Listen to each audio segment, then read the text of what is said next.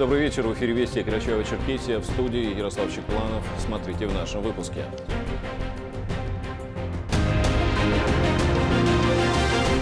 Как улучшить социально-экономическую ситуацию в республике, какие отрасли нужно развивать, об этом мы не только говорили на совещании в Архизе. Оперативно-служебную деятельность МВД Республики обсудили на встрече, которую провел начальник Главного управления МВД России по СКФО. Чей двор красивее, благоустроение уютнее. Хабезе жюри определило лучшее подворье. Об участниках и критериях конкурса в репортаже вести. Он был построен аланами в X веке, считается одним из древних в стране в рубрике «Наше наследие». Сегодня Синтинский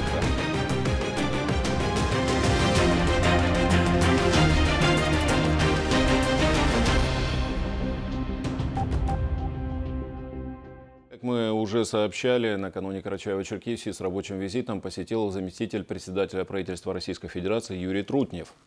В Архизе прошло совещание по вопросам социально-экономического развития республики. Участники встречи выделили ключевые направления совместной слаженной деятельности федерального правительства и региональных властей по повышению уровня жизни населения. Подробности у Мурата Джанкезова.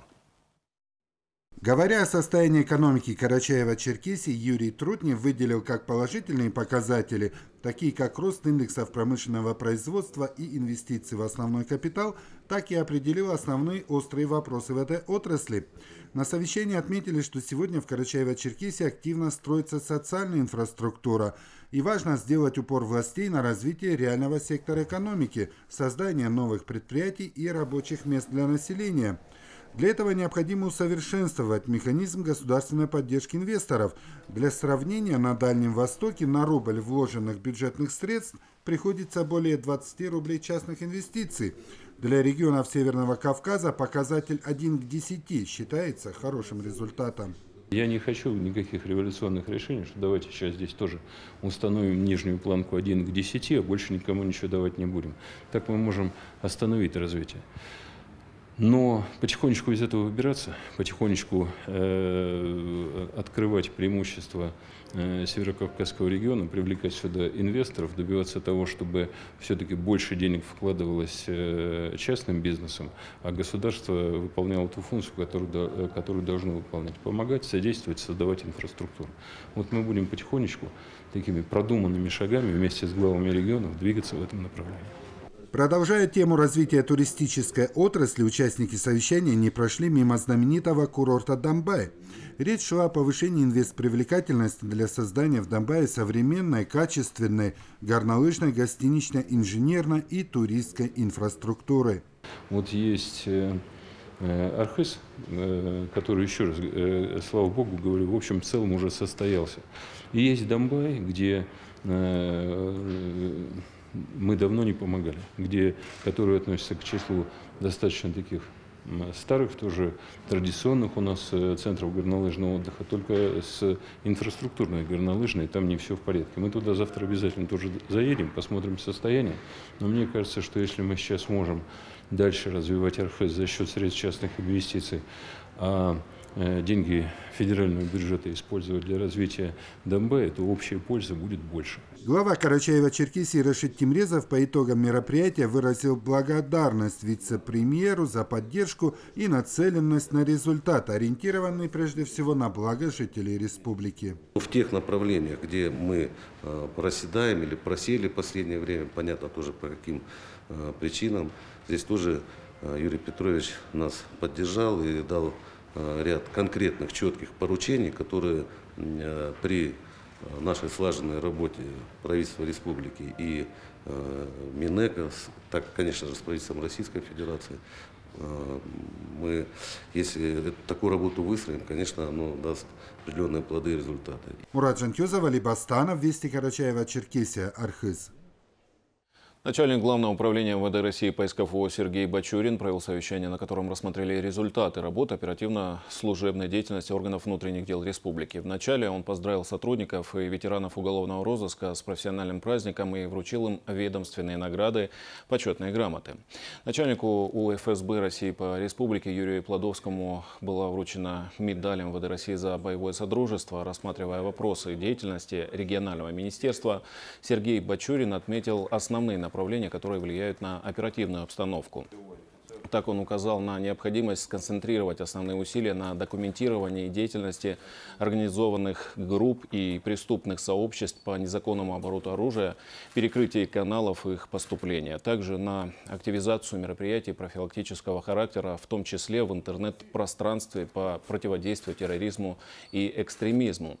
Было отмечено, что вопросы хищения в бюджетной сфере, борьбы с коррупцией и организованной преступностью, декриминализация лесной отрасли и топливно-энергетического комплекса комплекса э, находится на постоянном контроле руководства МВД России. И вести из оперативного штаба на сегодня в Карачаево-Черкесии выявлено 82 новых случая заражения коронавирусной инфекцией. Общее количество заболевших в республике 7596 человек, из них 4940 выздоровели, госпитализировано 466. Сейчас настало время прогноза погоды, а после мы продолжим выпуск.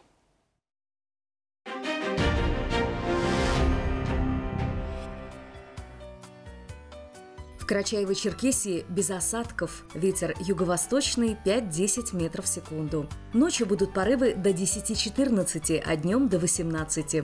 Температура ночью 2-7, днем 17-22, выше нуля. В горах ночью минус 2 плюс 3, а днем 7-12. В Черкеске без осадков. Ветер юго-восточный 5-10 метров в секунду. Ночью порывы до 14, днем до 18. Температура ночью 5-7, днем 19-21 градусов тепла. Вятские меха «Центр сезонных распродаж» дарит телевизор. Шубу смело примеряй и подарок получай. Только до 15 октября ТЦ «Панорама», первый этаж.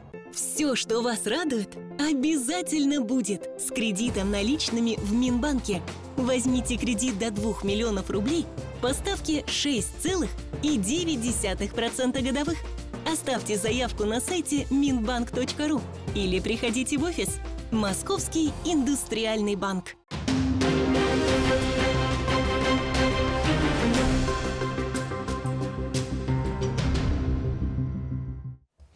Продолжаем выпуск. Определено, э, определено самое красивое подворье Хабеза, жюри, в состав которого вошли члены Общественного совета аула и представители администрации сельского поселения, рассмотрели заявки участников, выразивших свое желание поучаствовать в конкурсе и показать благоустройство домашнего очага. Фатима Даурова расскажет, по каким критериям победитель обогнал своих соперников и заслужил титул обладателя самого красивого подворья Хабеза.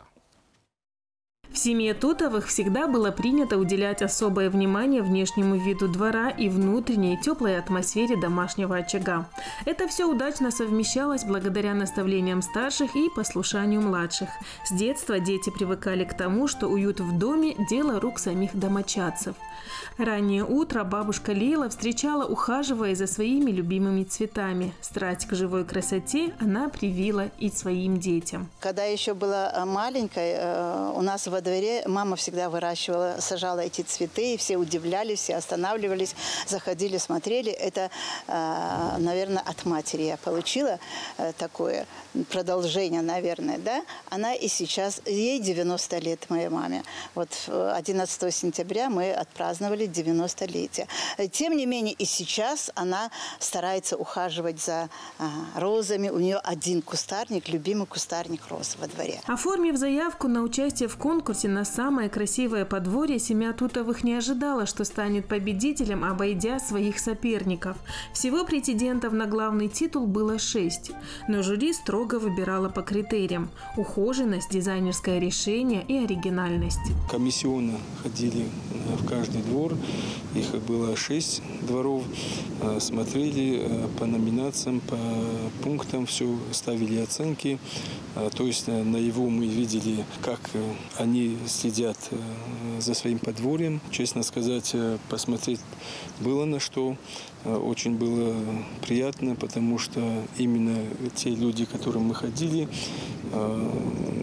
действительно постарались, действительно живут очень красиво. И как говорит Фатима Тутова, чтобы поддержать уют во дворе, особых материальных затрат и не нужно. Только любовь к труду и желание каждое утро видеть красоту за окном. Руками можно многое сделать. Почистить, посадить. Цветочек можно найти, посадить, можно ухаживать тоже. Можно. Для этого особых затрат и э, не надо. А просто надо любить красоту и чистоту. Владимир Микитов тоже из числа тех энтузиастов и перфекционистов, для которых важно, чтобы все было вокруг ухожено и чисто. Он несколько лет боролся с мусором на улице около своего дома, пока его не посетила оригинальная идея – облагородить место так, чтобы людям стыдно было выбросить даже обертку от конфетки. Со временем в конфетку превратилась прилегающая территория и только благодаря его настойчивости и усилиям. Яркие клумбы, зелень, радующая глаз и тихое место, где можно вечером посидеть после тяжелого рабочего дня.